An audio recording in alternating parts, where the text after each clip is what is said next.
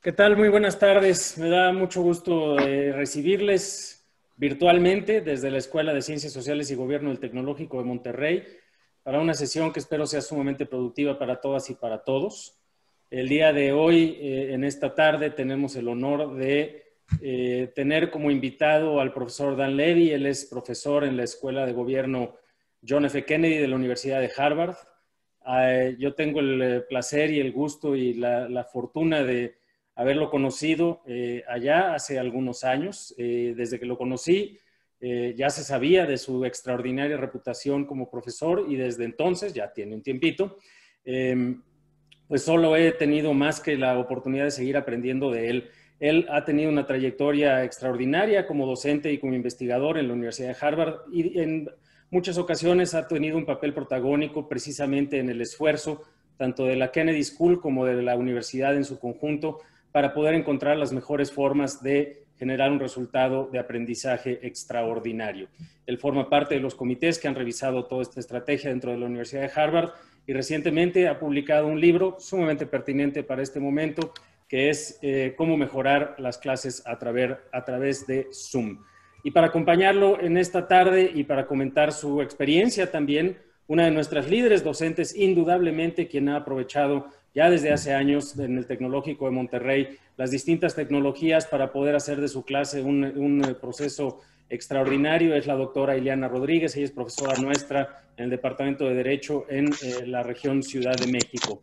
Y pues como ustedes saben, acá en el TEC tenemos mucha experiencia también con todos estos formatos eh, en línea, pero esta es una oportunidad extraordinaria para conocer más de cerca la obra del profesor Dan Levy y también sus recomendaciones específicas. Sin más, los dejo agradeciéndote muchísimo, Dan, que estés acá con nosotros y te dejo también en la compañía de Ileana. Muy buenas tardes a todos y todos. Gracias por acompañarnos. Muy buenas tardes a todos. Es un gran placer estar aquí con ustedes. Muchas gracias a TEC por invitarme, a Alejandro como decano de la Escuela de Gobierno ahí por, por, por invitarme a este evento y a Ileana por acompañarnos. Eh, también quiero agradecer a Valeria Mendiola, que es eh, mi estudiante en el Kennedy School y que ha sido de gran ayuda en la publicación de este libro.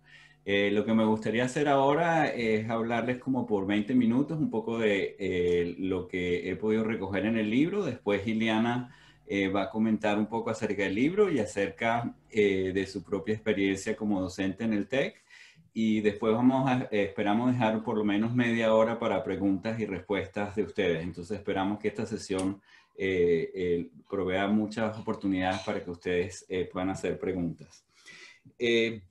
me gustaría empezar, antes de, describir un poco estos 20 minutos, me gustaría empezar contándoles un poquito cómo empezó la idea de este libro. Yo llevaba muchos años trabajando en educación en línea en el Kennedy School pero cuando llegó COVID me di cuenta de lo poco preparado que estábamos eh, tanto en mi universidad como en muchos otros lugares eh, para afrontar lo que venía en términos de retos de educación en línea y en particular de retos de educación en línea eh, en vivo, es decir, las sesiones en donde uno está interactuando directamente en vivo con los estudiantes. Em, en ese momento yo no tenía pensado escribir en, ningún libro, pero me puse a observar a muchos colegas eh, a ver qué es lo que estaban haciendo en la plataforma eh, de Zoom, que es la que usamos en la universidad, y me di cuenta de eh, muchas prácticas muy creativas intentando de moverse en ese mundo. Y también eh, seguí muy de cerca lo que, lo que mis hijas que están en bachillerato eh, estaban eh, percibiendo en su propia educación en línea. Entonces, el libro realmente surgió después de haber visto esas experiencias, intenté de compartirlas. lo que me gustaría hacer en esta sesión es describir una pequeña introducción. Después quiero contarles algunos tips para enseñar con Zoom. Tengo entendido, entendido que no todos ustedes son profesores o maestros, pero la, una buena mayoría sí lo son y me gustaría que para ustedes llegaran, salieran de este, de este evento con algunas ideas de cómo poder enseñar mejor en esta plataforma y de nuevo después haremos la sesión de preguntas y respuestas. Eh, una cosa que me gustaría aconsejar es que para involucrarse en esta sesión, si tienen un papel, una hoja de papel o algo y puedan anotar ideas y preguntas que les van surgiendo, creo que esto les haría eh, tomar más provecho. Yo donde me gustaría empezar es en reconocer la pérdida que creo que de muchos de nosotros estamos eh, percibiendo al tener que haber pasado del aula física al aula virtual. Eh, yo, yo, creo que la gran mayoría de nosotros que tuvo que hacer esto eh, no lo hizo porque quería enseñar en línea. La gran mayoría de nosotros nos vimos forzados a enseñar en línea. entonces, una de las primeras cosas si bien soy un gran fanático de la educación eh, digital, eh, yo soy el primero que reconoce que, que, esto representa una pérdida enorme para nosotros como educadores. El, tener que haber pasado, si lo, si lo pudiera describir en, eh, de manera gráfica, es el tener que haber pasado de ese aula física que está tan rica de conexiones humanas a, a un aula virtual que pareciera como que si la, el aula física se hubiera aplanado en la pantalla de, de un computador. Y entonces ahora toda nuestra interacción con nuestros estudiantes eh, básicamente está intermediada por esa pantalla, tanto la pantalla de nuestro lado como la pantalla del lado de ellos. Y yo creo que eh, la, la importancia de reconocer esa pérdida es porque nos va a ayudar a entender cuáles son los valores que tenemos como educadores que sentimos que están siendo amenazados por esta transición y cómo podemos expresar esos valores de forma distinta en la educación en línea. Eh, quiero resaltar que el, libro y un poquito de una buena parte de las reflexiones de hoy se tratan de Zoom. Eh, Zoom es una, una herramienta de las muchas que, eh, que existe para enseñar en línea. Hay también Microsoft Teams, hay hay Google uh, Meet, hay eh, WebEx, hay otras. Y, y, en realidad eh, lo que quiero destacar es que eh, es, cualquiera de esas herramientas es solo una parte de ese ecosistema de enseñar en línea. ese ecosistema consiste en mucho más que simplemente las sesiones en vivo, pero eso es lo que me va a contestar, me voy a concentrar hoy. Entonces, donde me gustaría empezar es haciéndole unas preguntas a ustedes. Eh, sobre todo aquellos que son educadores, la, pregunta es la siguiente, que nuestros estudiantes tienen muchas formas de participar en nuestras clases en Zoom y me gustaría preguntarles a ustedes eh, cuál de estas formas eh, ustedes, en cuáles de estas formas sus estudiantes se involucran en clase. Si, si no aplica o no, no enseñan, simplemente señalen la última opción, pero me gustaría tomar un minuto para compartir eso.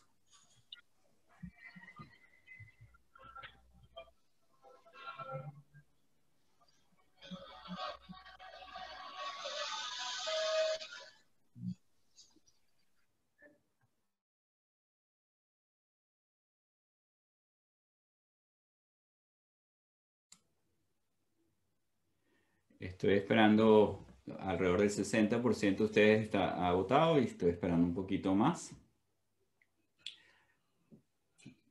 Ok, ya la gran mayoría de ustedes ha votado y lo que, lo que quiero reportarles un poquito los resultados eh, para después intentar de, examinar eh, lo que siento que está sucediendo. Aquí están los, los, los resultados eh, de la encuesta. Y lo que quiero que notemos es eh, dos cosas. La, primera es que eh, en el aula virtual, en, Zoom, el 80 por el método predominante de, que ustedes tienen eh, para involucrar a los estudiantes es el habla, es la comunicación verbal. Y seguido de bastante lejos, trabajar en grupo, escribir, compartir trabajo con los demás, etcétera. Entonces, eh, yo me gustaría hacer dos argumentos eh, o avanzar dos ideas que espero que les sean útiles. La primera idea que me gustaría avanzar es que una de las eh, cosas muy importantes a tomar en cuenta cuando enseñamos una, una clase en, en línea, en vivo, en Zoom o en cualquier otra plataforma, es que hay más formas en las que nuestros estudiantes se pueden involucrar que cuando enseñamos en el aula física y que parte del arte de enseñar en Zoom es intentar de pensar en qué formas nuestros estudiantes van a participar en nuestras sesiones.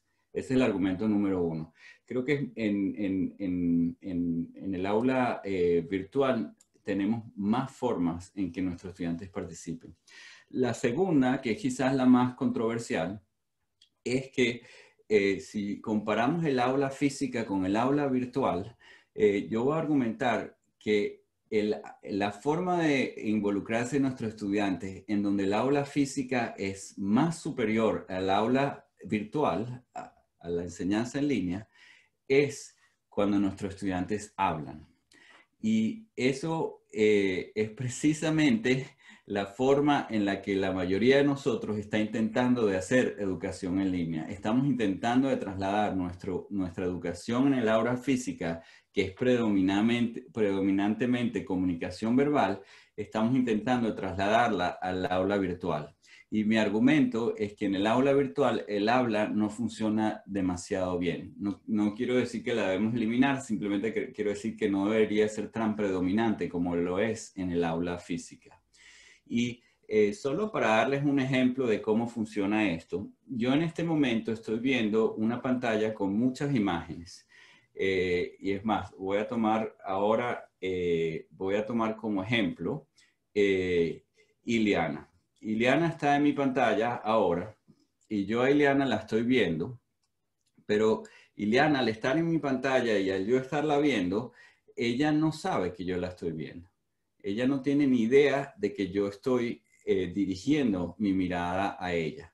O voy a tomar otro ejemplo, Antonio. Antonio, ahorita estoy viendo a Antonio. Y Antonio López. Y ahora veo a Antonio López y él no sabe que lo estoy mirando. Él piensa que estoy mirando hacia abajo. Y además la foto de Antonio se va moviendo. Entonces ni siquiera puedo dialogar con él directamente como hago en una aula física. Y para que Antonio o Iliana piensen que los estoy viendo, yo tengo que dirigir mi mirada hacia arriba, hacia la cámara, en donde ya no puedo ni siquiera percibir las reacciones que Antonio y Iliana están teniendo acerca de lo que estamos eh, haciendo. Entonces, esa, esa dicotomía o esa, ese, eh, esa forma en que se rompe el vínculo entre nuestra mirada y el poder comunicarse no verbalmente es una de las cosas que yo creo que hace el diálogo más difícil en educación eh, virtual. Entonces, bueno, la, primera noción que me gustaría avanzar es si ustedes están enseñando consumo, cualquiera de estas plataformas, y la forma predominante en que vuestros estudiantes participan es a través del habla, me gustaría avanzar la idea de que quizás eh, una de las formas en que se puede mejorar la calidad de la enseñanza es adoptando otras maneras en las que nuestros estudiantes participen. Por ejemplo, estoy viendo que solo 27% de, de, ustedes eh, indicaron que eh, utilizan las votaciones como forma de que sus estudiantes se participen. Y eso es una forma en la que me gustaría sugerir que eh, tiene muchas, muchas posibilidades de, de mejorar la educación en línea.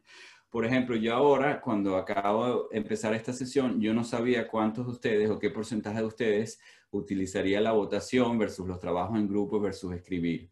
Y en un espacio de un minuto me pude enterar de que de las formas de participación en las que yo argumento que se puede participar virtualmente, la votación es la que menos utilizan ustedes. Entonces yo ahora puedo orientar un poquito más esta presentación a la votación de lo que lo haría si no supiera esa información.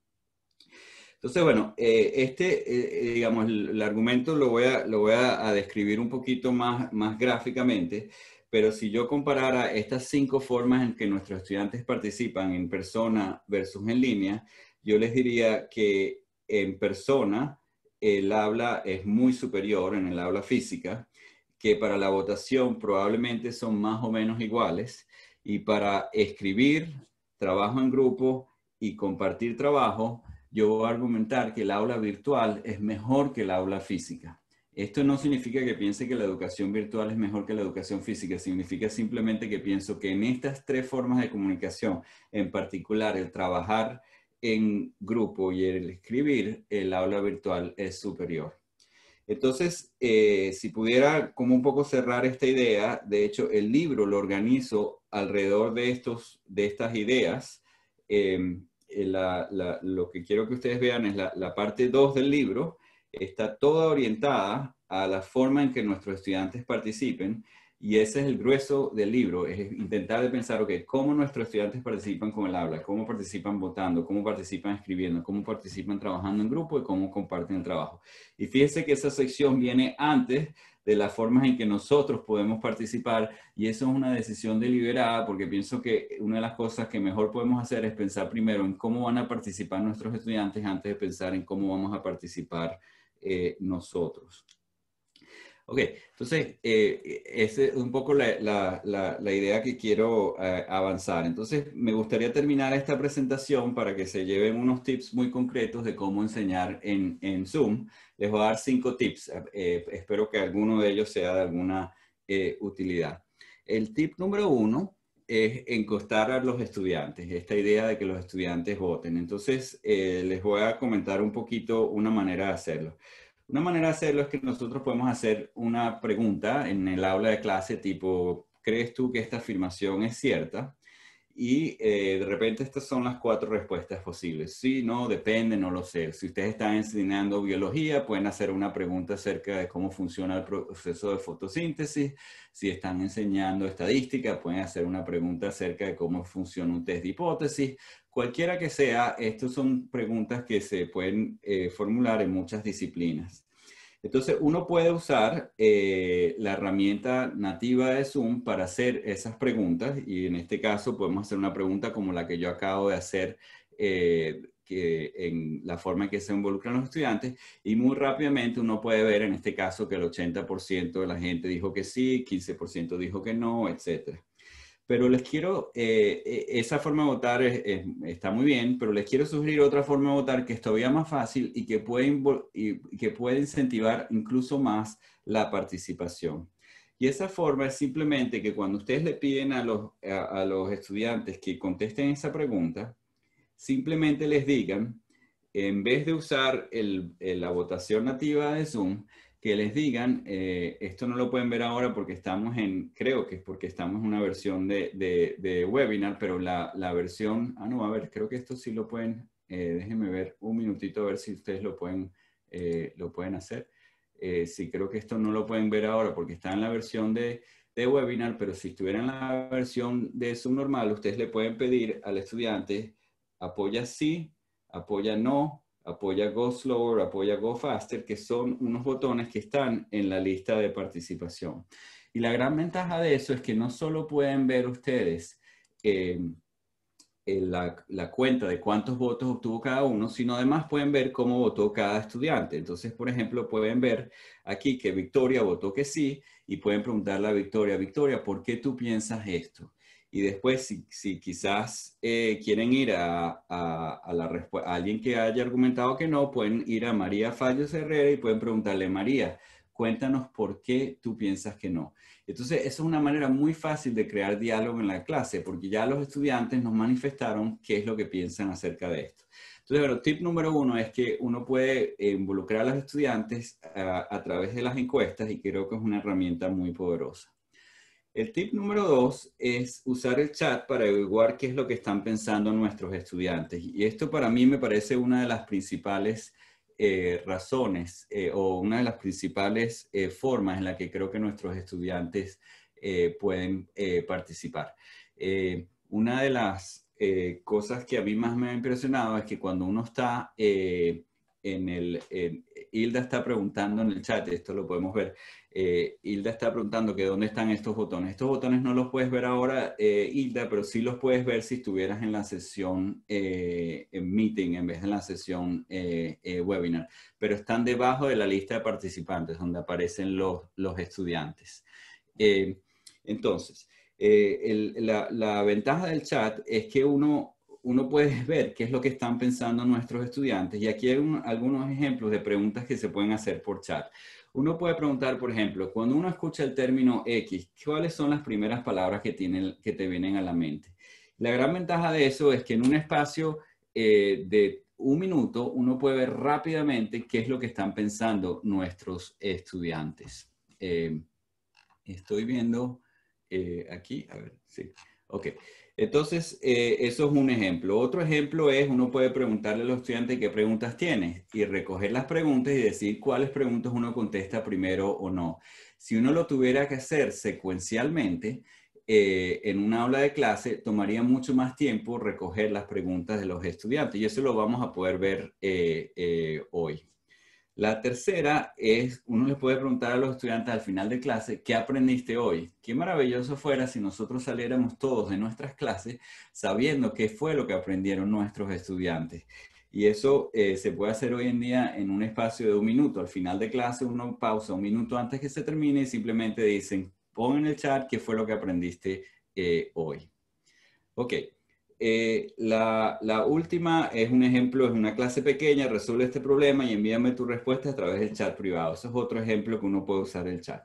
Es el tip número dos. El tip número tres, veo que muchos de ustedes, alrededor de la mitad, han trabajado en em, eh, secciones de grupos pequeños y esto es una herramienta extremadamente útil.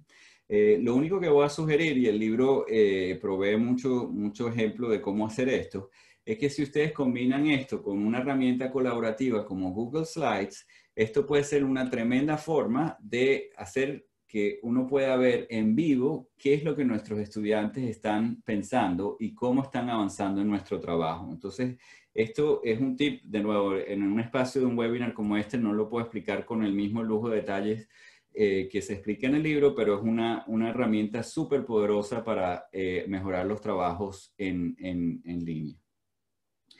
El cuarto tip, eh, me imagino que ustedes eh, lo ven eh, con mucha frecuencia, pero uno como maestro se tiende a usar mucho el PowerPoint para, para, para comunicar.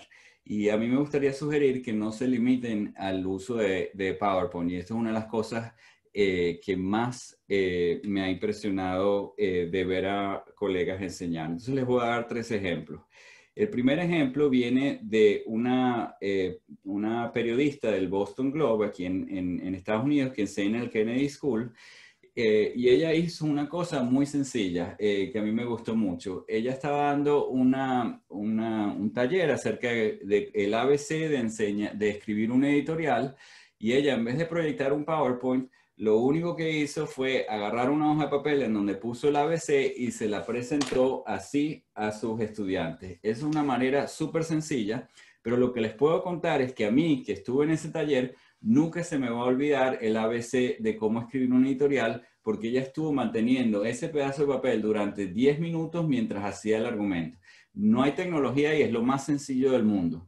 Y una de las grandes ventajas que, que, ustedes lo pueden ver ahora, la gran desventaja de presentar PowerPoint es que ahora la mitad de la pantalla de ustedes está enfocada en PowerPoint y no en quien está presentando. Entonces, esto me pareció una, una idea eh, eh, sencilla y genial.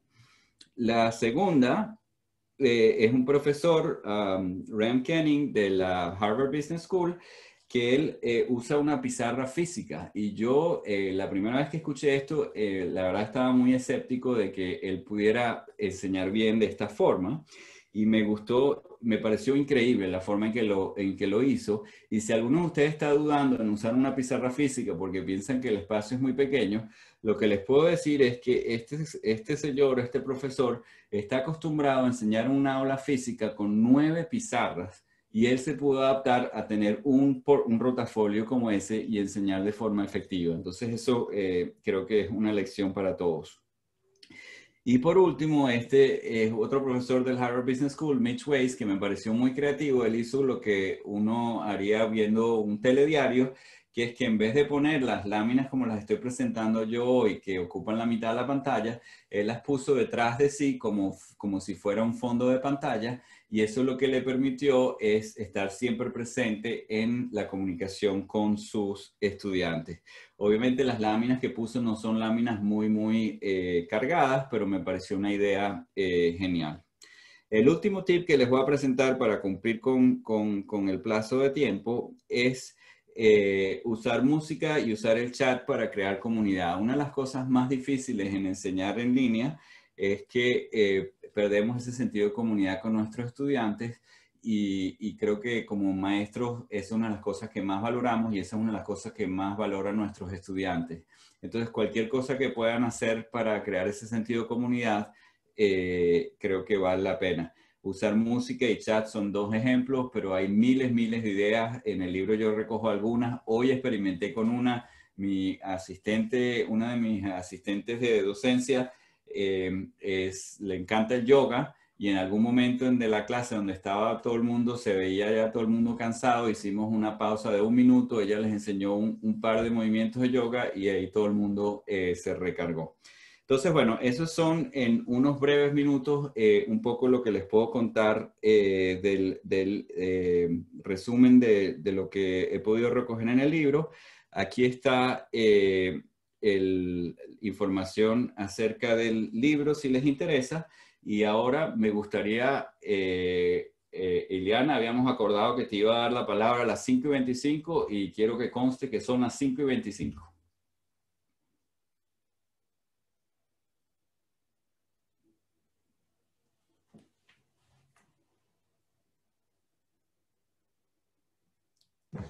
Bueno, pues muchísimas gracias, Dan, y felicidades por esta presentación. Gracias. Por esta obra que llega a muy buena hora, eh, justamente en una época sin precedentes en la historia de este siglo. Eh, para muchos, el uso de diferentes softwares y plataformas tecnológicas fue algo mucho muy intrusivo en nuestras vidas y en la de nuestros estudiantes. Entonces, em, revisar simplemente la parte de las fuentes consultadas en tu libro, te llevas una extensión de cinco cuartillas de diferentes obras que robustecen esta obra de cómo enseñar con Zoom. El uso de estas múltiples fuentes de consulta, lo que señalan mis queridos colegas, es que hay una cantidad de materiales de donde echar mano para poder dar unas clases mucho mejor de las que solemos dar cuando somos tan apenas poco usuarios de la tecnología, porque hay que reconocerlo. Hay académicos, pero también estudiantes que pueden ser nativos digitales, pero también, por supuesto, estamos los migrantes digitales. No todos son la generación Z, no todos son la generación de los millennials, eh, también existe la generación X y, por supuesto, baby boomers y todavía más. Pero más allá de ese sesgo que puede producir la generación a la que respondamos, el hecho real es que la tecnología llegó para quedarse en nuestras vidas. Y no, no digo que mm, no vayamos a regresar a las aulas físicas, no. Lo que quiero decir es que a partir del conocimiento de estas, seguramente que al retornar al aula física, seguiremos echando mano de este tipo de softwares. Por ejemplo, yo les cuento del TEC de Monterrey, que mm, eh, nos ha capacitado tremendamente en el uso de tecnología, como seguramente sus universidades o sus entornos laborales les han ido preparando a ustedes para tener mayor eh, oportunidad del uso efectivo de la tecnología. Pero también hay que reconocer que a veces eso no basta si nosotros mismos no nos metemos a experimentar y utilizar este tipo de software, pero además con cierto tipo de apoyos. A veces ciertos cursos no son suficientes y nos sentimos incluso con muchísima ansiedad de decir, ¿qué dijo? ¿No le puede regresar al instructor dos slides o me permite por favor tomarle una foto para que luego yo lo pueda regresar? Lo cual esto es absurdo porque nadie regresa a las fotografías nunca ni nadie casi toma notas cuando terminan las sesiones. Se te queda todo acá y sobre todo te vuelves ya un gran usuario cuando pierdes este miedo y le entras a la tecnología y como un niño pequeño comienzas a apretar de todo. Finalmente, este no es un dispositivo eh, que implique el uso de una bomba, es una computadora, por favor. Entonces, creo que en, en, principio lo que tenemos que entender y lo que me pasó personalmente a mí y que lo veo con muchos colegas, no solo del TEC de Monterrey, sino de otras universidades, Dani amigos, es despojarnos de este miedo para usar la tecnología y saber para qué sirve cada botón. Ningún curso va a ser nunca suficiente si nosotros mismos no experimentamos las posibilidades del uso de la tecnología. Pero a mí sí me gustaría mucho, independientemente de la práctica adquirida en el tiempo a partir del uso de las tecnologías, sí basarme en mis reflexiones, en tu maravilloso texto que recupera estas visiones de estas em, bibliografías que tú pones al final y que logra concentrar en una sola mirada en un libro eh, todos estos saberes que pueden ser mucho, muy importantes para todos los que estamos en esta reunión ahora y que finalmente tenemos que comunicar algo, algo que no debemos perder de vista y nos dice Dan en su texto, y yo lo he experimentado, es, recuerden que todo lo que están preparando, todo el esfuerzo que están invirtiendo en el uso de estas herramientas, cualquiera que ésta sea, es en aras del aprendizaje de nuestro alumno. Si no hemos entendido eso y esto se convierte en un reto para nosotros del uso de la tecnología, perdiendo que el objetivo es para qué lo estoy haciendo y que es uno de los elementos que utiliza Dan en su libro, en la parte, digamos, teórica para hablar de una base pedagógica de cómo utilizar la tecnología, es centrar al alumno, ponerlo al centro del aprendizaje. Él en este libro tiene una caricatura, es un libro muy dinámico, no les va a costar nada leerlo, porque además de que la información está mucho, muy bien distribuida y narrada, tiene una serie de ligas o hipervínculos que si ustedes le dan clic, los manda a determinados videos, como el del profesor Masur, que se convirtió casi como San Francisco de Asís, que se convierte de un mercader a ser todo un fraile, pues lo mismo Masur, todo un profesor que dicta un lecture duro y aburrido y que retoma la tecnología como un componente para hacer de esta algo no solamente entretenido, sino algo que busca un objetivo de llegar al estudiante. Y aquí retomamos este concepto de Dan de poner al estudiante al centro. En este libro dinámico, él tiene un cartón o una caricatura muy, muy simpática. Tendrían que verla porque eh, puede ser más divertido de lo que yo les pueda contar, pero donde están dos niños y uno de ellos tiene un perro. Y entonces le dice uno al otro, ¿qué estás haciendo? Y este dice, le estoy enseñando a silbar al perro. Y le dice el niño al perro, a ver, chifla. Y el perro no chifla. Y entonces dice el niño, te dije que le estoy enseñando a chiflar, no que hubiera aprendido. Entonces, esto lo que quiere decir es que nosotros debemos poner atención no solo en qué estamos enseñando y cómo lo estamos enseñando, sino para qué lo estamos enseñando. ¿Están los alumnos aprendiendo efectivamente lo que queremos que aprendan? Y esto nos llevaría a otro tema que Dan maneja y que también me ha pasado y que seguramente a ustedes les ha ocurrido. ¿Cómo diseño todo un plan? En mi caso imparto Derecho Internacional Público, compuesto de 12 unidades, que de suyo equivalen a una currícula de derecho entre ramas penales, mercantiles, de derechos humanos. O sea, es un temario bárbaro. ¿Cómo les voy a dar esa cantidad de información y conocimiento a mis alumnos para que logren los objetivos. Y esto nos dice Dan, justamente con el tema de centrar al alumno en el eje, también hablar de un plan de actividades para el aprendizaje de nuestros alumnos, comenzando con un inicio, pero también pensando en el fin de la sesión. Y cómo la voy a cerrar, no improvisando y, uff, ya no me dio tiempo y adiós, nos vemos la siguiente sesión. No, cómo empiezo la sesión y hasta dónde va a llegar y cómo la voy a terminar, sin pretender dar todos los contenidos que solíamos dar en el aula física, porque es evidente que va a cambiar la forma en que impartimos una clase. Y por eso esta cantidad de estrategias y tips que el propio Dan nos da en su libro. En mi caso, por ejemplo, él, usa, y lo vimos ahora, el tema de la encuesta. Pero em, más allá de eso, ustedes saben que pueden para repasar las clases anteriores, un Kahoot, que es un examen rápido, es un quiz que es agradable, que es divertido, para ir probando el conocimiento de los alumnos, em, un examen Socrative, pero cosas que puedan invitar al alumno a participar. Pueden, si quieren, utilizar el chat y no olvidarlo y centrarse solamente en una presentación de PowerPoint, tener el chat y si el chat no lo pueden abrir porque les molesta, porque se distraen, en un segundo monitor quizás abrir la aplicación de Slido. O por qué no utilizar la, aplicación de Padlet para hacer notas. O por qué no utilizar no más de cinco minutos un video de YouTube para luego detonar, como también dice Dan y que también utilizo en mis clases, como el método socrático, detonar a través de una pregunta mucho conocimiento con la participación de los propios alumnos.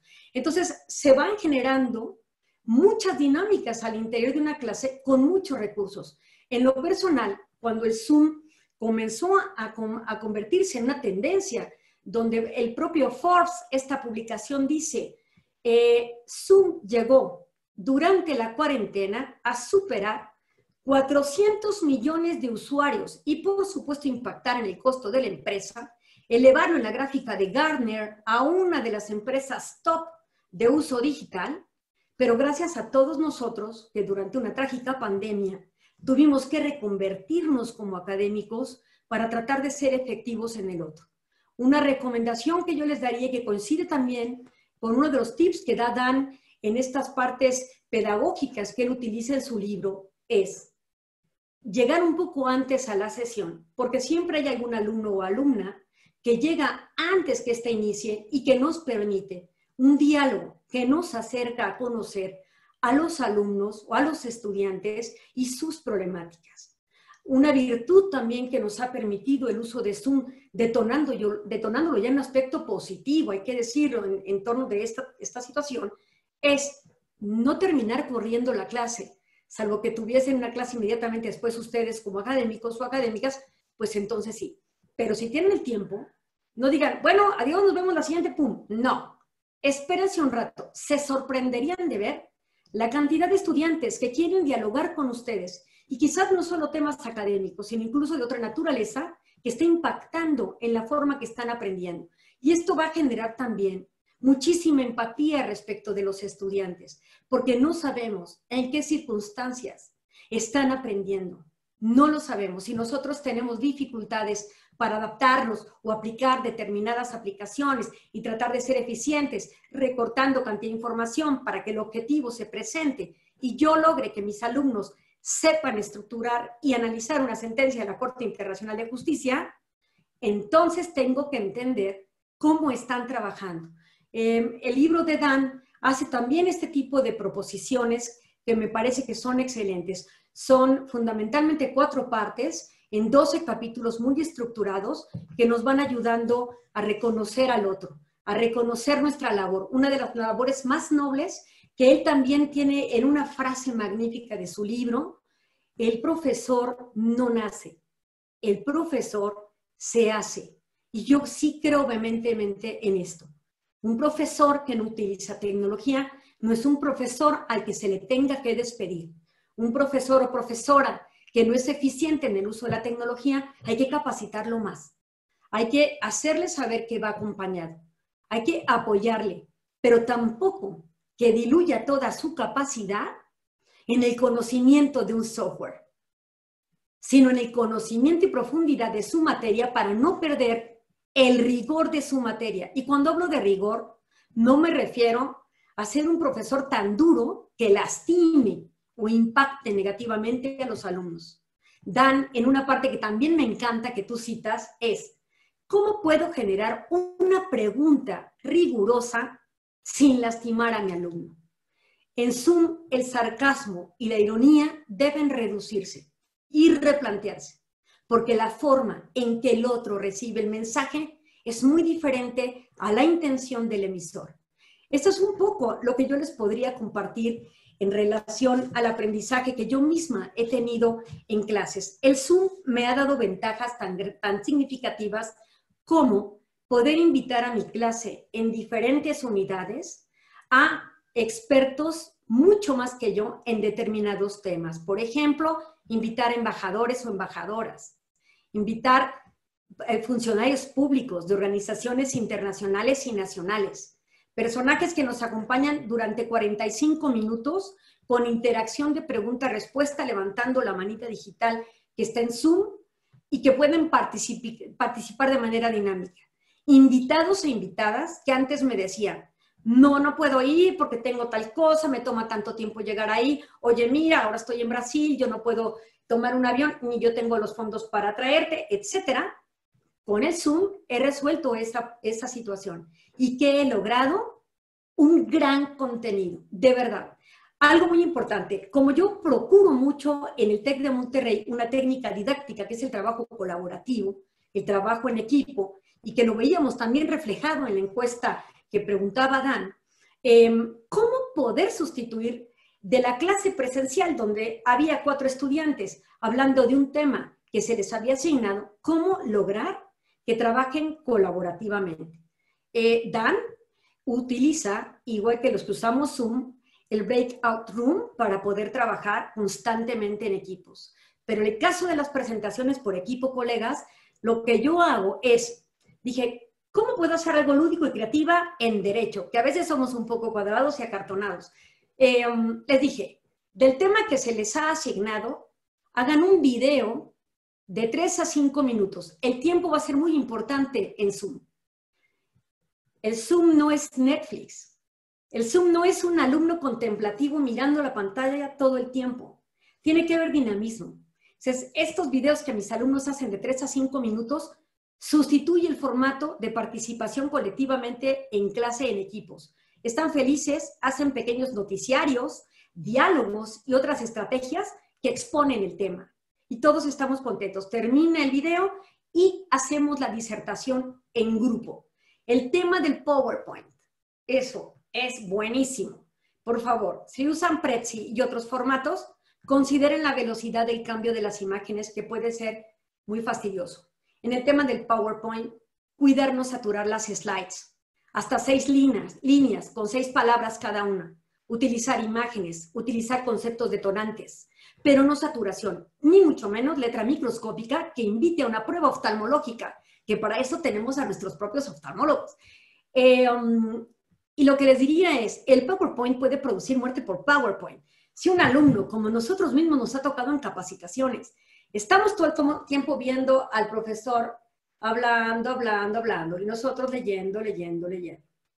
Y de repente, saturación de letras y una hora con un PowerPoint de 30 slides por favor, ustedes van a terminar hundidos en su asiento.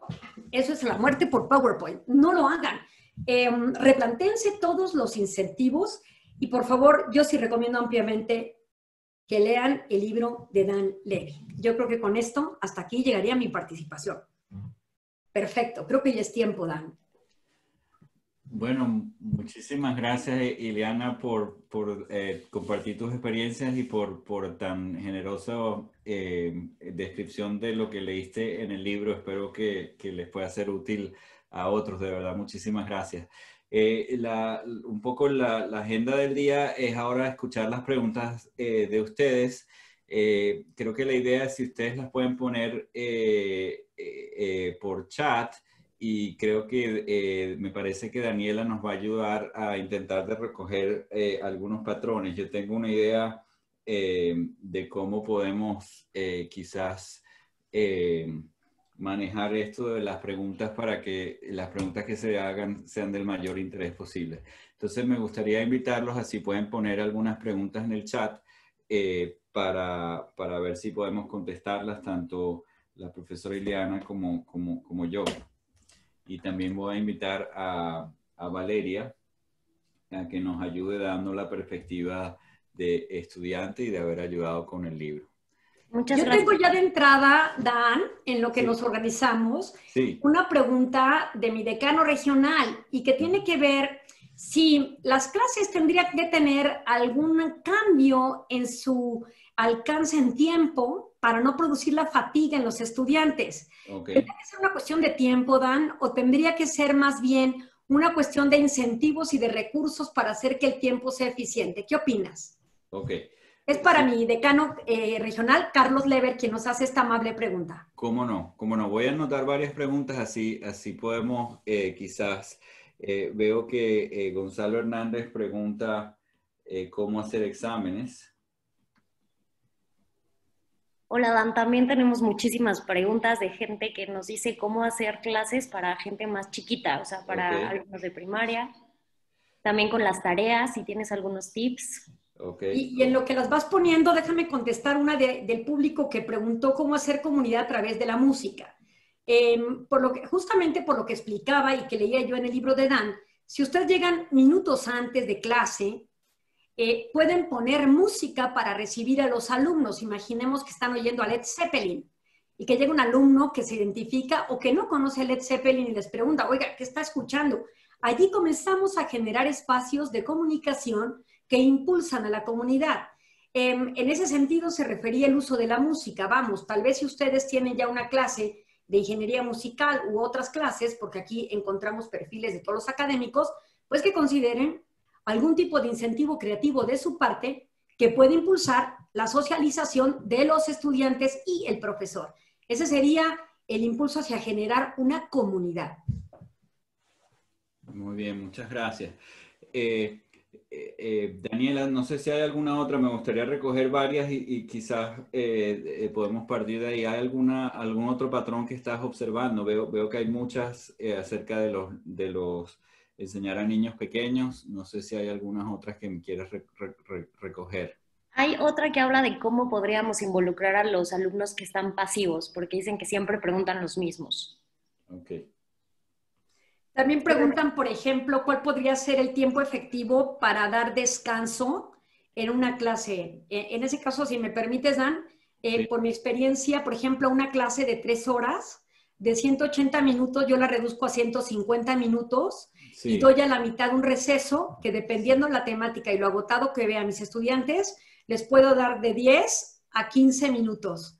Pero eso es algo que los académicos debemos medir de acuerdo a los temas y, a cómo estamos percibiendo al estudiante. Esa sería para mí, pero no, sé qué opinas tú, Dan. Perfecto. Eh, sí, eh, en, realidad me imagino que eso varía mucho por contexto, pero, pero lo, lo que sí escucho es que, bueno, no, no, no, solo lo escucho, lo percibimos todos, es muy difícil mantener nuestra atención eh, durante más de una hora seguida. Entonces, una hora, una hora y media es lo que yo pienso más el, plazo máximo sin tener al menos algún descanso. Fíjense, esto, esto es lo que me gustaría hacer en este momento. Obviamente hay muchas preguntas, pero quiero que noten ahora una de las ventajas de usar una plataforma virtual para, incluso para esta cuestión de, de, de preguntas y respuestas. en este momento, eh, si, si, estuviéramos en un aula física y, y yo estuviera, eh, o yo y Leana estuviéramos haciéndoles, oye, ¿qué preguntas tienen? Eh, esto, lo, que, lo que sucedería naturalmente es que una persona levanta la mano, hace una pregunta, después la siguiente persona hace otra pregunta, y entonces las preguntas que se terminan contestando siempre son menos a todas las preguntas que hay, y no se sabe si esas preguntas son las de mayor interés para la audiencia. Entonces me gustaría mostrarles cómo podemos usar la plataforma eh, de Zoom o de cualquier plataforma virtual para intentar de resolver este problema. lo, primero que quiero que, vean es que lo que acabamos de hacer es recoger varias preguntas que, han sido como eh, de, cierto patrón. Y ahora eh, he creado una lista que dicen cuáles son las preguntas. Y ahora lo que voy a hacer es una encuesta. Y en la encuesta les voy a pedir a ustedes que voten por la pregunta eh, que más interés eh, tiene para ustedes. Entonces voy a lanzar la encuesta y les voy a decir, les voy a leer porque sé que mi letra no, no es muy buena, pero aquí están las posibles preguntas. Eh, una, reducir el tiempo de clases, la segunda, cómo hacer exámenes, la tercera, cómo hacer tareas, la cuarta, cómo enseñar a niños pequeños, la quinta, cómo crear comunidad y la sexta, cómo involucrar a todos los estudiantes. Entonces, si me permiten, me gustaría eh, que, señalaran eh, cuáles son las que a ustedes más les interesa votar. Y de hecho, esto es una eh, permítame un segundito.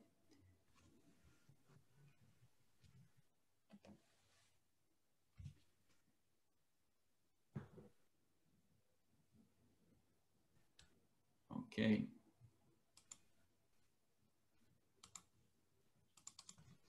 Sí, ese tipo de encuesta se puede hacer en Zoom, en la función que está al lado del chat que dice polls. Si le dan clic ahí, les va a aparecer la posibilidad de hacer las encuestas. Es muy sencillo. Solo sigan la formulación de la pregunta, denle save y pueden hacer cualquier tipo de encuesta. Se encuentra en la barra del menú inferior de Zoom al lado izquierdo del chat para que puedan comenzar a hacer las encuestas que quieran. Es una de las eh, funciones importantes de esta herramienta o este software. Perfecto. Eh, veo que alrededor del 60% de ustedes han, eh, han contestado. Aquí hay, les voy a poner un poquito de presión a los que no han contestado, poniéndoles esta, esta música. Sí, sí se pueden crear con anticipación las encuestas. Se quedan guardadas. Mientras le den save, van a estar en la parte de encuesta. ¿Solo la puede hacer el host? Sí, es correcto, por quien es quien preside el aula, el profesor. Ok. Entonces, bueno, eh, voy a compartir la, encuesta con ustedes, pero los resultados con ustedes, pero eh, eh, quiero, hacer dos cosas. Una, contestar las preguntas y, la, segunda, ilustrar por qué creo que una técnica como esta funciona. fíjense una cosa, si ahorita yo comparto los resultados con ustedes, ustedes se van a dar cuenta que la, la, opción que tiene, donde más, la mayor número de ustedes quiere que contestemos, es cómo involucrar a todos los estudiantes.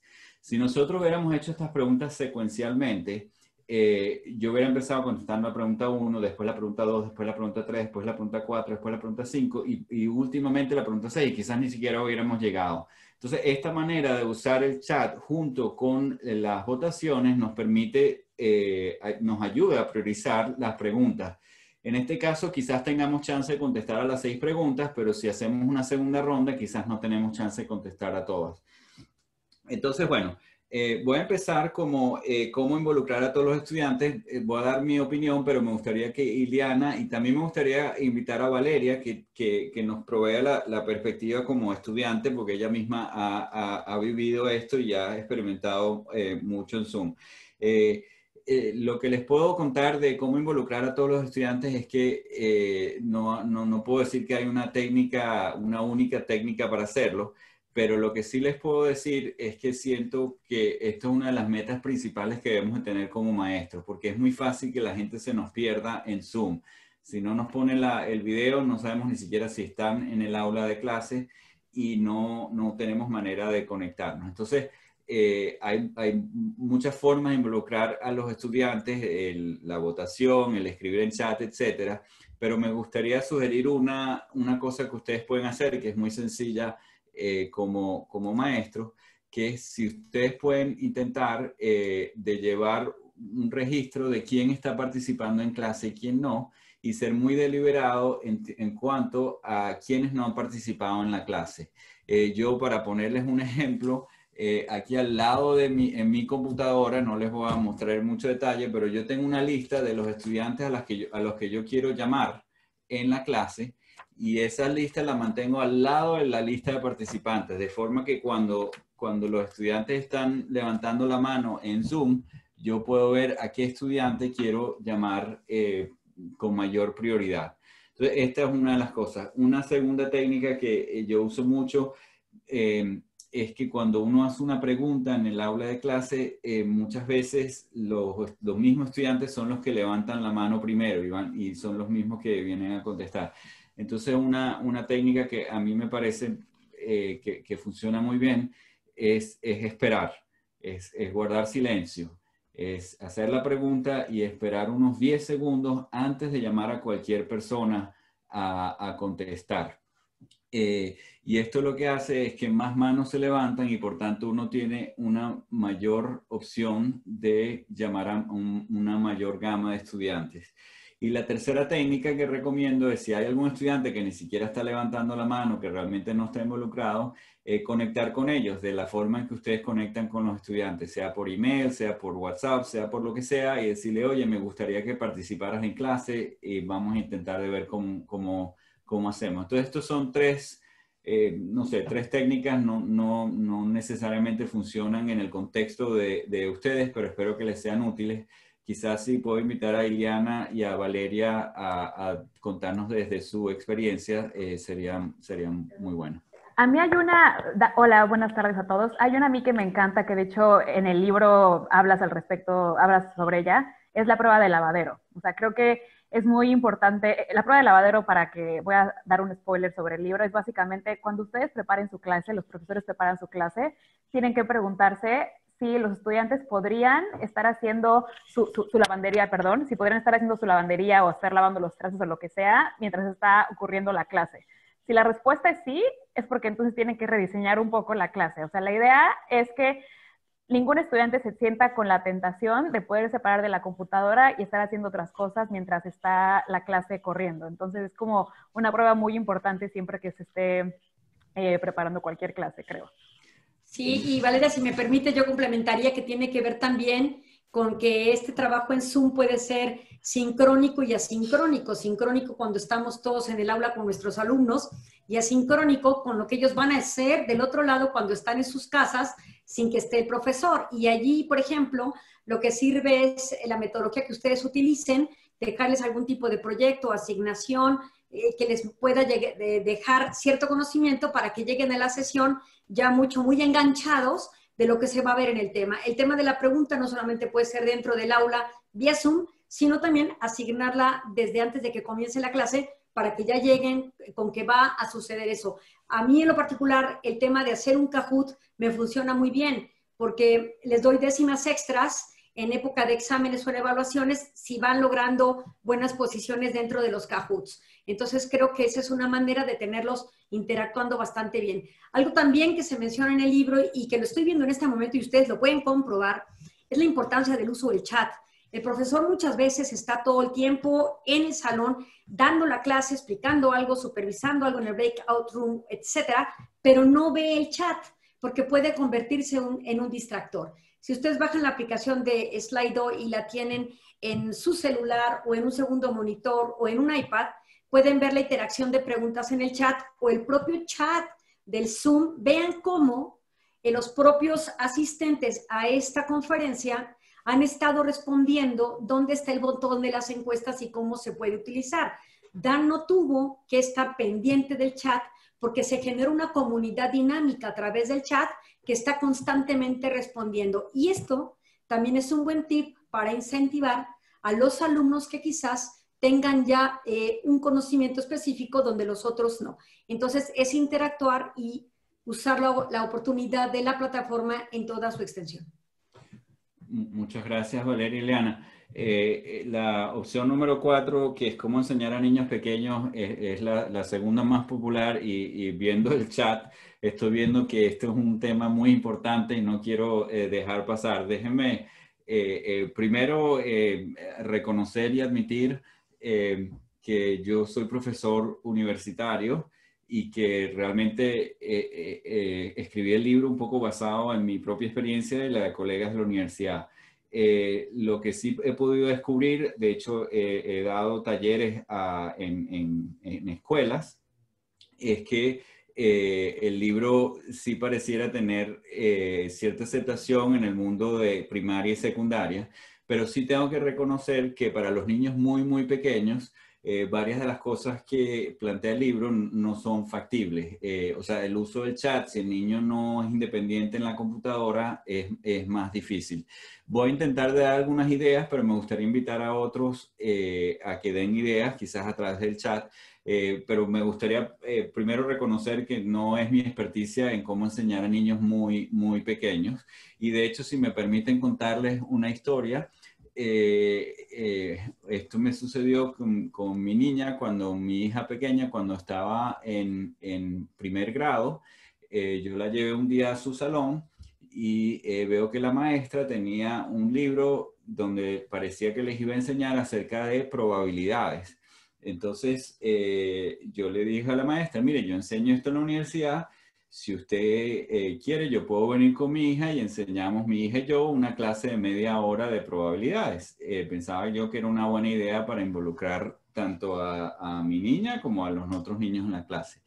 Y bueno, habíamos diseñado un plan que yo pensaba que era brillante de cómo íbamos a involucrar a los niños de primer grado y eh, les llevamos moneditas y iban a lanzar las monedas y si sale caro, sale cruz, etcétera y eh, llegamos a la sala con aquel plan brillante y en menos de 30 segundos estaban los niños lanzándose las monedas los unos a los otros y el plan se eh, disolvió completamente. Entonces, esto todo lo digo para que tomen con un grano de sal lo que les voy a contar acerca de, eh, de, cómo educar a niños pequeños con Zoom. Ah, lo que les puedo decir, mi, propia experiencia es que si no hay alguien que esté ayudando al niño a manejar la si el niño está muy pequeño, no hay alguien que esté ayudando al niño a manejar la computadora, las opciones son más o menos limitadas y las opciones, en, mi opinión, se, reducen a intentar de hacer que los niños estén eh, interactuando no solo con el maestro, sino con los otros niños de una forma mostrando eh, ciertas actividades físicas. Entonces, una de las cosas que he visto es que a veces los niños hacen alguna manualidad y lo muestran a la cámara y, e intercambian. O el, maestro está eh, mostrando físicamente un libro a la, cámara.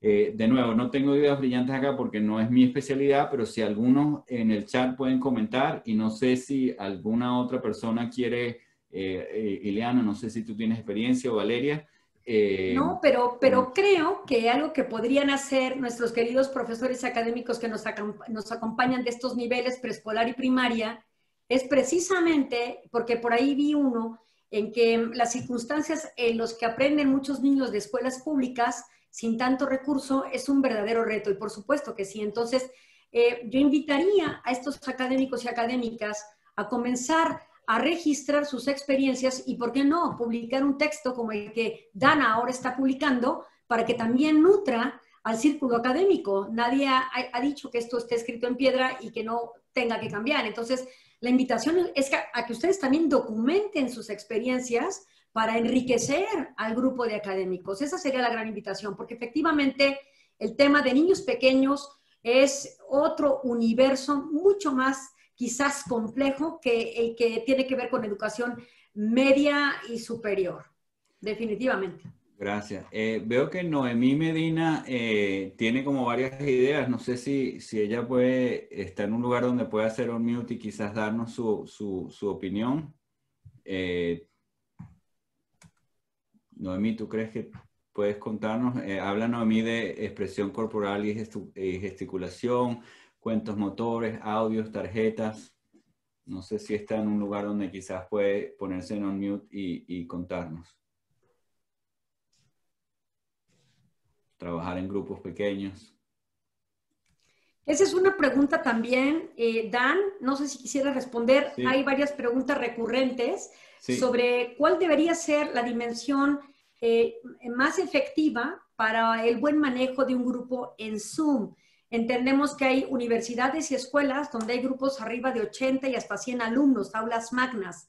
¿Cuál sería para ti la fórmula para ser mucho, muy efectivo con la docencia a través de Zoom en esos casos?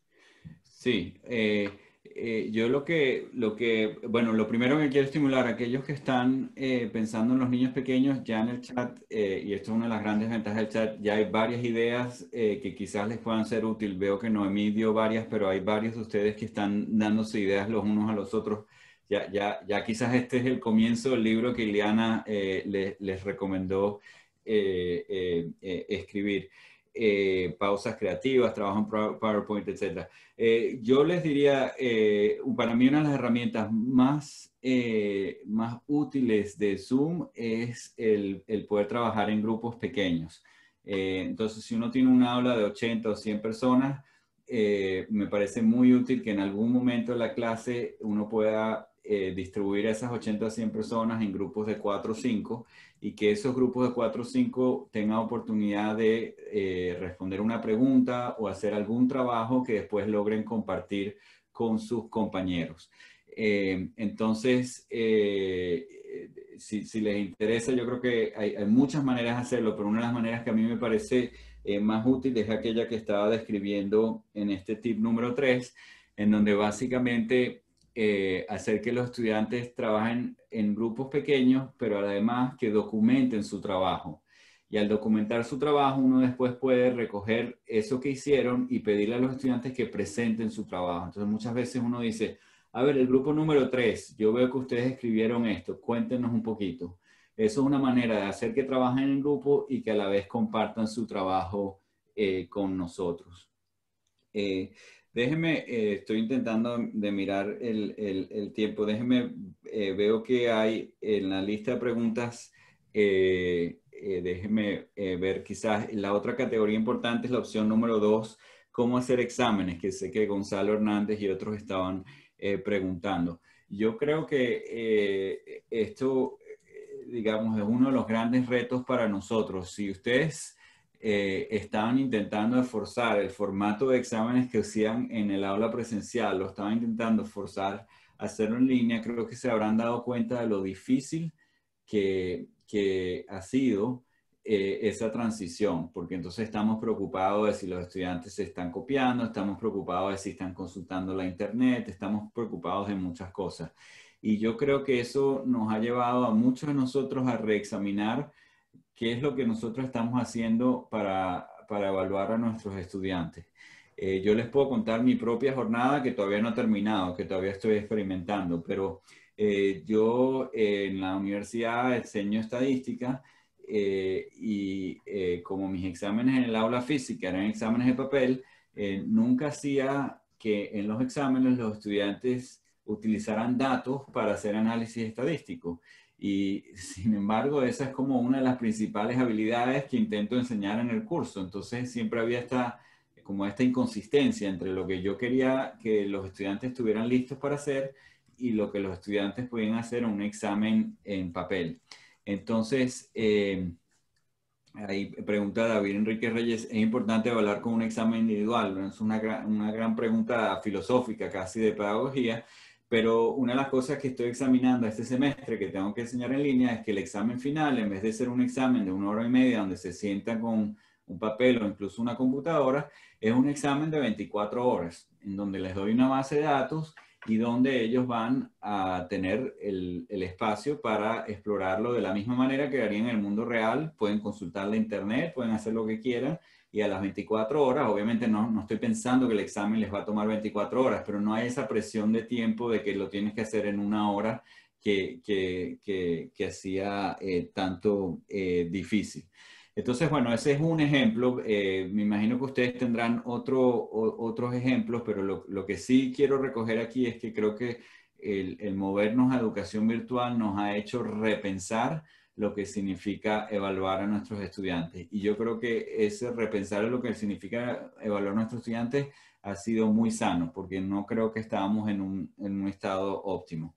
No sé si Liana, eh, tú quieres hablar desde tu perspectiva o, Valeria, o Valeria como estudiante. Sí, yo, yo, coincido plenamente contigo, Dan, en que eh, evaluar un curso, evaluar las competencias disciplinares y transversales en un alumno ya no necesariamente se reduce a un examen. Eh, el sistema de evaluación puede comprender muchos otros aspectos que pueden ser desde la aplicación sí, de una prueba hasta la creación de un proyecto, de un producto, de determinada situación que es importante para corroborar los objetivos que se pretenden. Por ejemplo, en el tema de acortar los contenidos de un curso para que las sesiones no sean tan densas ni tan largas, es Recortar sí, pero en atención a aquellos conocimientos que se requieren para que puedan desarrollar competencias propias de la disciplina.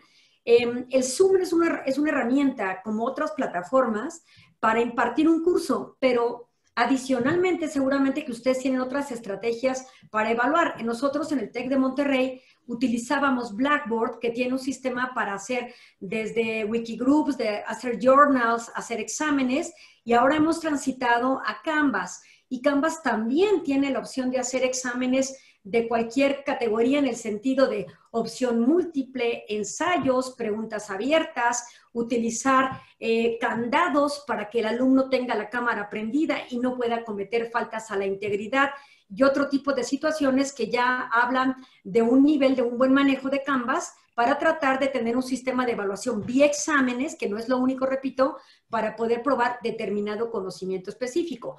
Pero yo aquí también les invitaría a la reflexión en que si se está logrando un trabajo sincrónico dentro de esta aula virtual y asincrónico con los estudiantes trabajando desde sus casas, entonces no le den todo el peso em, del porcentaje de calificación más fuerte a los exámenes, donde evidentemente también puede haber faltas a la integridad y que quizás incluso si ustedes no ponen estos candados, a lo mejor el examen lo ejecuta un tercero. No lo sabemos. Entonces, ¿por qué darle tanto peso a un examen cuando están viendo que el alumno está trabajando en clase, está trabajando en breakout rooms, está trabajando en hacer videos, está trabajando en proyectos? Porque es un sistema de evaluación continua donde se evalúe todo lo que está robusteciendo a los estudiantes y no exclusivamente un examen donde incluso el tiempo puede ser una presión, donde haga que el estudiante falle. Entonces creo que es, es también momento de repensar que la pandemia nos impulsa a utilizar este tipo de recursos para generar nuevas formas de impartir un curso. No, no es posible vivir en la época del enciclopedismo, donde el profesor sabe mucho y habla todo el tiempo y hace un examen donde prueba la memoria. Yo creo que también tenemos que aprovechar la hora y la oportunidad para reinventarnos como académicos y lograr los objetivos de aprendizajes en la formación de nuestros estudiantes. Dan, yo quisiera nada más hacer un comentario porque justamente como estudiante estoy viviendo esta transición a exámenes eh, en línea y algo que hemos notado mucho mis compañeros y yo es que es una gran oportunidad para cambiar el formato del examen, no nada más en términos de ponderación y demás, sino del tipo de preguntas que hay en los exámenes, ¿no? O sea, en un examen normal, en un salón de clases hay preguntas de definiciones, de cosas que encuentras en un libro muy fácilmente y sinceramente en esta nueva realidad virtual es muy fácil tener junto a ti el libro sin que se note en la computadora o vamos, este tipo de, violaciones a, la integridad académica y demás. Entonces creo que es una gran oportunidad para crear exámenes que sean muchísimo más reflectivos, o sea, no nada más preguntar definiciones, sino cómo se aplican los conceptos que se tuvieron que aprender eh, en estos, en los temas. Y me parece algo súper valioso y que genera incluso mucho más eh, ganas de pensar de los estudiantes. Muchas gracias, Valeria. Yo, yo de nuevo enfatizo la, importancia de pensar si, si nuestro principal temor es que nuestros estudiantes encuentren la respuesta a nuestros exámenes haciendo una búsqueda de Google, creo que eso nos está diciendo que nuestro examen no está bien diseñado, porque en el mundo real los estudiantes van a tener acceso a Google. Entonces, eh, creo que eso rescata un poquito eh, comentar, los, dos comentarios que acaban de, hacer. Eh, quiero mantener un poco la, la, el, tiempo. Ileana, decías que tu decano había preguntado acerca de reducir el tiempo de clases. Yo no tengo gran experiencia aquí, excepto que yo sé lo difícil que es mantener la atención durante más de una hora de, de en, en Zoom lo hemos visto aquí, empezamos casi 800 y ahora estamos en 600, 572 y es natural, es muy, muy difícil mantener la atención, bueno, a esta hora todavía más difícil. Entonces, eh, muy importante mantener un diálogo constante. Obviamente en un formato donde hay 570 personas es mucho más difícil mantener ese diálogo, pero fíjense que hemos intentado hacerlo de dos formas han habido las encuestas, han, habido amplio tiempo para preguntas y respuestas y hay el chat donde hay cierta participación. Eh, obviamente no es lo más interactivo que pudiera ser si estuviéramos en un aula de 40 personas, pero eso es una forma en la que nos podemos eh, enfatizar. Eh, me gustaría ver, no sé si Daniela tiene alguna otra pregunta o series de preguntas que quiere que intentemos de contestar o si seguimos con estas. Eh, yo aquí tengo una en lo que Valeria revisa y Daniela, eh, que me ha mandado justamente Daniela, que entre otros es, por ejemplo, eh, ¿qué aspectos de evaluación se toman más significativos en este tipo de plataformas? Ya. o sea, creo que en, términos de, evaluación, de nuevo, tú dices evaluación de los estudiantes, ¿se refiere a Sí, ¿cuál sería para ti la más efectiva? Sí. Usando Zoom. O sea, para, para mí, eh, quizás esto es mi propia deformación, vi que había una pregunta antes de cómo aplica esto en ingeniería o lo que sea. Eh, para mí una de las principales maneras de ver dónde están mis estudiantes es hacerles preguntas a través de estas votaciones, de estas encuestas.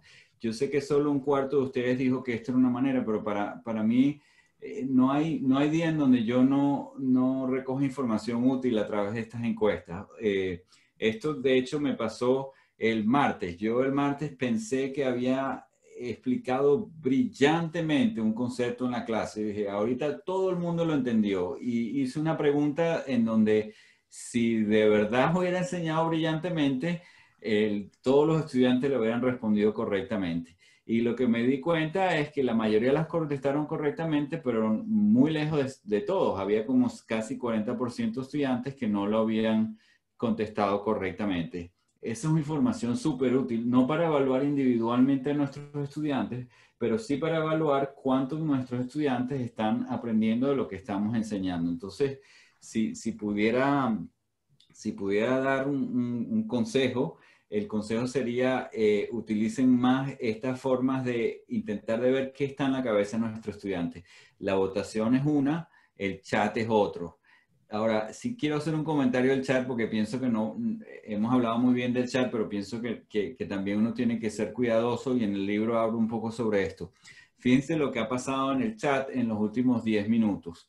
Por un lado, han pasado cosas muy positivas. Eh, hay una conversación muy buena acerca de qué es lo que pasa, cómo podemos eh, usar Zoom para enseñar a niños pequeños, en donde ustedes están eh, ayudando el uno al otro porque nosotros, los, ponentes, no tenemos esa experticia.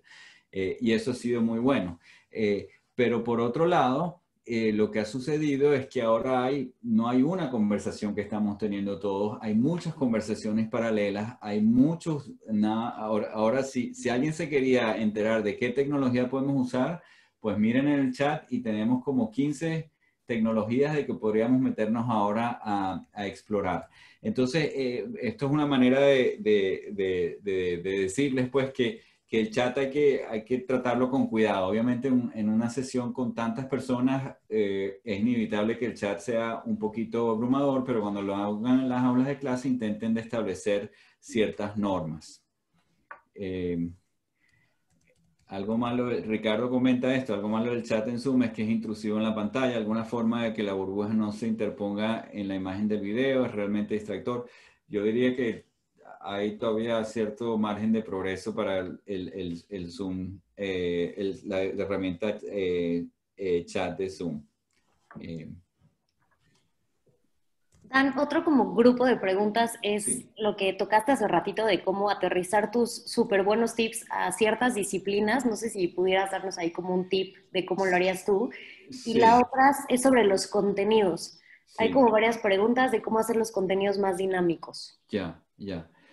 Eh, déjame empezar. Los contenidos más dinámicos, eh, yo creo que Valeria, ah, bueno, de hecho el tip de Valeria de, la lavandería vino de, su, de su roommate. Ella fue la que dio eh, la idea, pero en general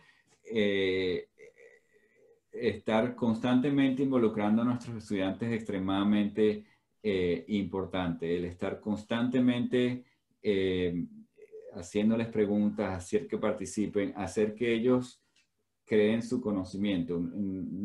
hay, una frase que cito en el libro, no, es mía, pero me, encanta, que dice que el que hace el trabajo hace el aprendizaje o el que hace el trabajo aprende. Entonces, si, ustedes se sienten como maestros, que ustedes están haciendo como docentes, que ustedes están haciendo todo el trabajo, eh, eh, si bien lo aplaudo y es heroico y muy bien, eh, no, no, va a llevar necesariamente a que los estudiantes aprendan. El, trabajo lo tienen que hacer los estudiantes. Nosotros estamos ahí para, para guiarlos en ese trabajo. Entonces, las herramientas las que hemos hablado, las votaciones, el chat, el trabajo en grupo, el que ellos muestren el trabajo, son fundamentales. Y yo creo que eso aplican a cualquier disciplina. Eh, cualquiera que sea la disciplina y cualquiera que sea francamente la edad de los niños. Obviamente a diferentes edades eh, va a ser diferentes eh, formas de hacerlo, pero creo que esto aplica en, cualquier disciplina. Yo enseño cursos cuantitativos, pero también enseño cursos que son, involucran un poquito más de juicio, más cualitativo y funcionan ahí he visto cómo las votaciones se usan en cursos tan variados como literatura, como en humanidades, como en derecho, como en muchos otros. Eh, y si, les interesa, eh, de hecho, hay, un libro muy bueno acerca de cómo usar las votaciones de Derek Prof, eh, que, escribió hace varios años y que les puede dar muchas ideas de cómo usar las votaciones. Ileana y Valeria, no sé si ustedes quieren agregar algo a esas dos preguntas, las de contenido y las de cómo aplican a diferentes disciplinas. Bueno, sí, es que es diverso. Yo creo que em, el uso de Zoom, y también tú lo dices en tu libro muy bien, Dan, no, no, se, no se pierdan, colegas, en obsesionarse en cómo utilizo una plataforma y se distraigan de lo esencial. Lo esencial es su estudiante, que tiene que recibir el conocimiento que ustedes tienen que darle para que pueda llegar a tener una vida plena en la vida profesional, que sean seres útiles a la sociedad. Entonces, yo diría que pierdan miedo, que vean a la tecnología como lo que es, una herramienta. Esto no es la Matrix, aquí no está NIO, ni nadie va a morir por apretar una tecla. Entonces, creo que es importante que experimenten, eh, cada vez más este tipo de software se desarrollan de una manera mucho, muy asertiva para que cualquier persona pueda utilizarlas. Y a partir de eso, y abandonado el miedo por el uso de la tecnología, entonces va a ocupar un espacio muy importante preguntarnos, ¿cómo me gustaría a mí aprender? Y una vez que ha introspectado, ¿cómo me gustaría a mí aprender ese conocimiento? Tratar de proyectarlo en sus clases hacia los otros. Porque si para ustedes una presentación en PowerPoint es muy aburrida, imagínense para el alumno o el estudiante que está del otro lado. Eh, nuevamente, estar frente al monitor tanto tiempo, porque su clase quizás no es la única. Quizás tengan tres, cuatro clases el mismo día con diferentes profesores y diferentes estilos, pero están sometidos a lo mismo. Esto no tiene que ser como naranja mecánica que le abren los ojos a fuerza a uno para estar viendo eso. Esto tiene que ser como una actividad muy lúdica, donde la herramienta va a cumplir una función que es despertar en los alumnos el interés sobre la materia, para que puedan aprovecharla lo mejor posible. Y ustedes hacer un collage de las aplicaciones, los, los, todos los usos de software que les puedan ser útiles. Yo de verdad invito a que lean el libro de Dan, porque es un libro que, repito, está a lo largo de 12 rubros, lleno de tips, de imágenes, de hipervínculos, de impresiones de pantalla, de dónde encontrar el botón de las encuestas, cómo hacer esto, cómo hacer un tipo de examen. Eh, no sé, a mí me parece que es un, es un libro muy bien logrado. Y perdón por el comercial, pero debo decirlo, antes que este libro estuviera aquí, eh, la capacitación que hemos recibido muchísimos de nosotros se diluye en una cantidad de componentes, textos, PDFs e instructores pero difícilmente teníamos un texto donde recurrentemente podamos ir y tratar de ver qué tip me puede funcionar a mí. Entonces, este es un poco, eh, yo, yo creo que hay que privilegiar la libertad en la forma en la que enseñamos. Y efectivamente, todos enfrentamos problemáticas distintas porque quizás no hay suficiente presupuesto gubernamental en la educación pública, por diferentes situaciones, porque quizás nuestras circunstancias tampoco son las mejores para impartir un curso. Eh, tiene que ver un poco también con lo que ustedes comentaban sobre em, cuáles reglas hay para que el alumno tome una clase en serio de esta naturaleza. Eh, sí hay muchas reglas diseñadas para ello, entre otras, una de las primeras es tener prendido el monitor, pero también hay que entender que en muchos lugares cuando se prende el monitor disminuye la velocidad del Internet. Entonces ahí, ¿cómo obligar al alumno? Bueno, entonces tengo el chat y me encantará ver a mi alumno Jorge, que no puede tener prendida su televisión o su computadora todo el tiempo, que en el chat esté participando, porque me va a dar la señal que él está presente y que está entendiendo. El tema de detonar la pregunta, eh, no lo sé, los contenidos son diversos. Por ejemplo, hay una pregunta interesante, ¿cómo incentivar o motivar a los alumnos tratándose de un profesor de deportes? ¿Cómo puedo enseñar a través de Zoom eh, un deporte? Y bueno, pues Hemos visto a lo largo de toda esta pandemia una cantidad de tutoriales para hacer ejercicio, eh, que es impresionante. Yo creo que sí se puede, dependiendo el enfoque y dependiendo cómo utilicemos correctamente la tecnología, Dan. Dan, yo, quisiera nada más hacer un último, dar un último tip que sé que tú haces mucho en tus clases. Eh, cuando de repente quieren enseñarle algo a los alumnos que saben que, los, que sabes que los va a sorprender o quieres entender cómo están reaccionando, les pides a todos que se quiten el mute, que prendan su micrófono, porque quieres escuchar cómo dicen wow, o cómo respiran, o cómo no sé qué. Y eso creo que de alguna forma es un poco más interesante, dinámica y, genera un poco más de interacción con el profesor y los demás estudiantes. Muchas gracias, Valeria. Una de las cosas eh, que más me, me, ha entusiasmado a mí de lo que he observado es que como educadores estamos todos enfrentando eh, ciertas limitaciones que no teníamos antes. Y para mí una de las cosas más alentadoras ha sido ver cómo muchos profesores y, maestros eh, de, todo, de todo índole han, han, han buscado maneras muy creativas de, de, de enfrentarse a, esta, a estas cosas a estos retos.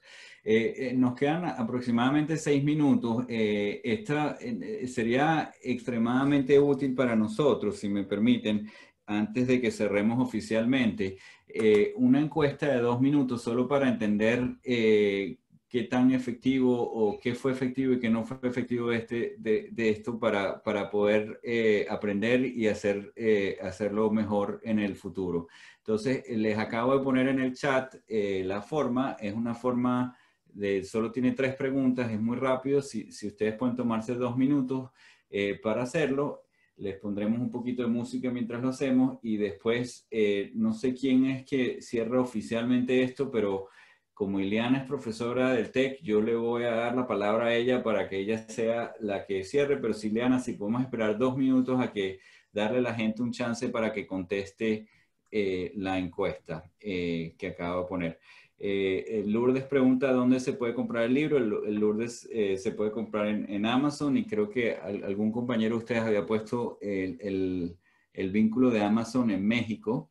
si lo quieren usar por ahí o si tienen una cuenta en Estados Unidos también está bien.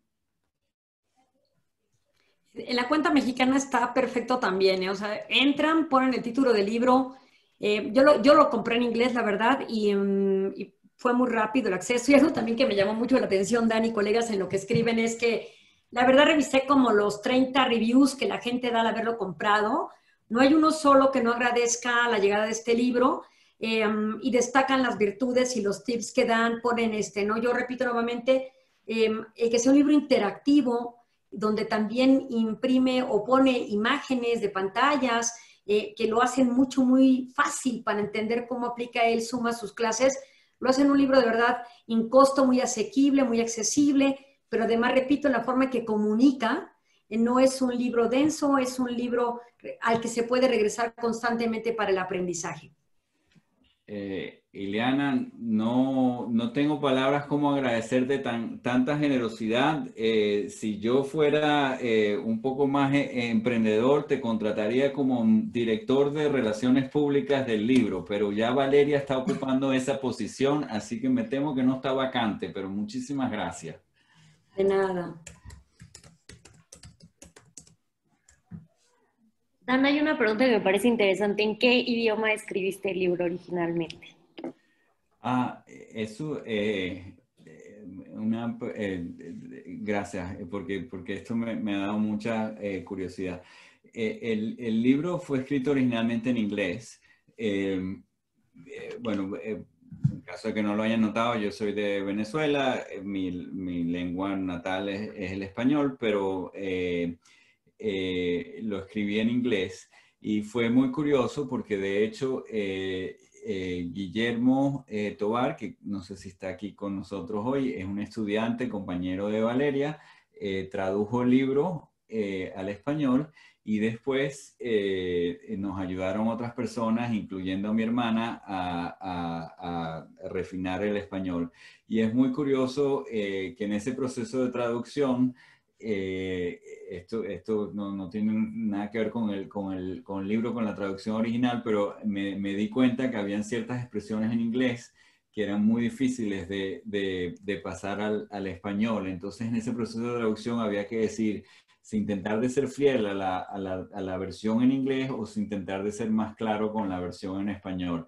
Y en general eh, decidimos ser más claros con la, con la versión en español eh, así que espero que el, libro esté eh, súper claro para quienes lo quieran leer eh, en, en, español. pero bueno, en todo caso, la respuesta concreta a la pregunta es que fue escrito originalmente en inglés.